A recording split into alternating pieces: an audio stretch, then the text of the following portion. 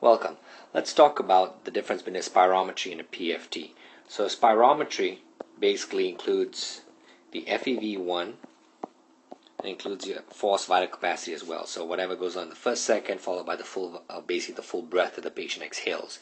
Uh, you will have uh, the FEV1 FVC ratio, especially when you need to look at for patients with COPD and kind of risk stratify them and assess their severity.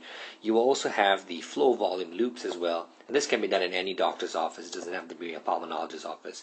You get the flow volume loops, and you'll see where there's any concavity in the in the expiratory limb and the concavity over here may give away whether the patient has uh, has any evidence of obstructive lung disease such as COPD, asthma, and so on.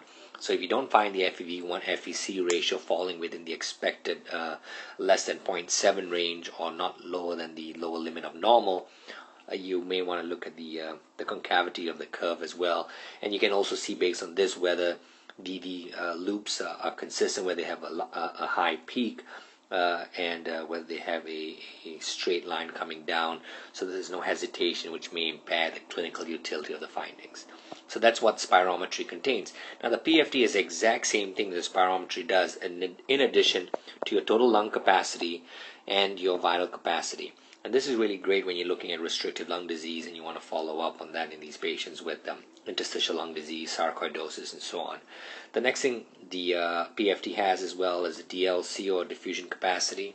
And that looks, uh, especially if you're evaluating for causes of uh, oxygenation and issues with oxygenation, uh, the DLC or the diffusion capacity for oxygen is uh, of carbon dioxide, which is a surrogate for oxygenation, is is what's also con- uh, con- contained in the PFT.